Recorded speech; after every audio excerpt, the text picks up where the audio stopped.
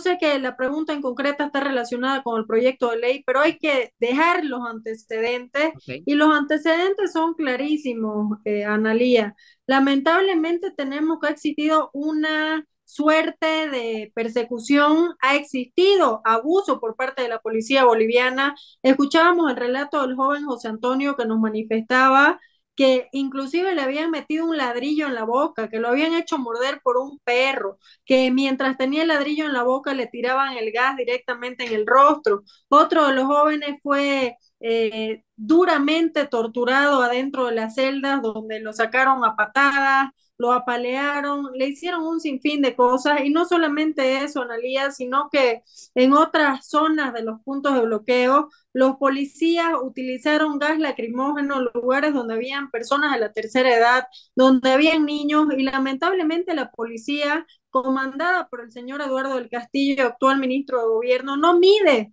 la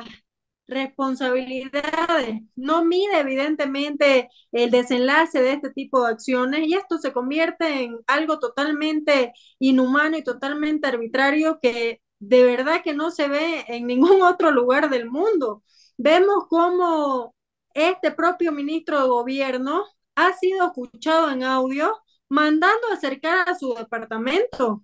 mandando a querer dejarnos sin alimento y se olvidaron pues que nosotros somos los que producimos el alimento, Analía. Se olvidaron que esta medida iba a afectar al conjunto de los bolivianos y de hecho solamente como un comentario, hace un momento fui a un restaurante porque no había almorzado, estábamos en la sesión eh, me pedí algo de comer o intenté pedirme algo de comer y me dijeron que no había carne y que no había pollo. Entonces, evidentemente es la muestra clarísima de que nuestra producción abastece al conjunto del país. En relación, Analía, a la solución del conflicto, lamentablemente vemos que eh, el señor Arce ha hecho caso omiso a la demanda de Santa Cruz, ha ninguneado a la región, ha ninguneado al departamento, pero sobre todo ha ninguneado al conjunto de esos bolivianos que viven en el departamento de Santa Cruz, porque hay, que ser claros en que ahí habitamos cambas, orureños, chuquisaqueños, venianos, porque nos hemos convertido en el reflejo de la bolivianidad.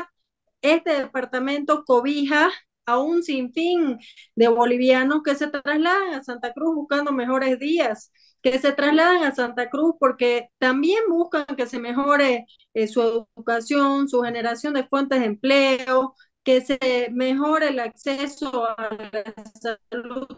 pública,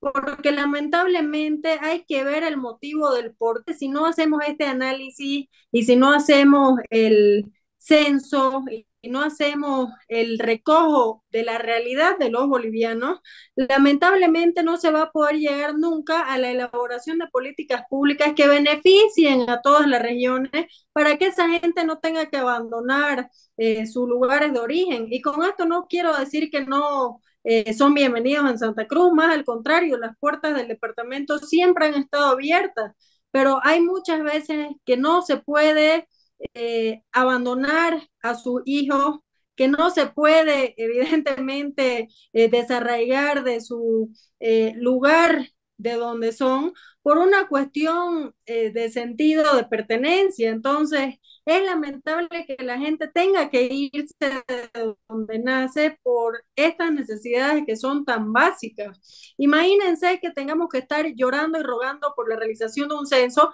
cuando en países vecinos, sin irnos muy lejos, Argentina, por ejemplo, ha realizado su censo inclusive de forma eh, virtual o Ecuador que sacó su decreto eh, supremo estableciendo el censo en mayo y su censo se está realizando estos días. No han tardado ni siete meses en hacer eh, todo el proceso porque ellos sí cumplen su trabajo. Hay que hacer énfasis ahí, por ejemplo, de que son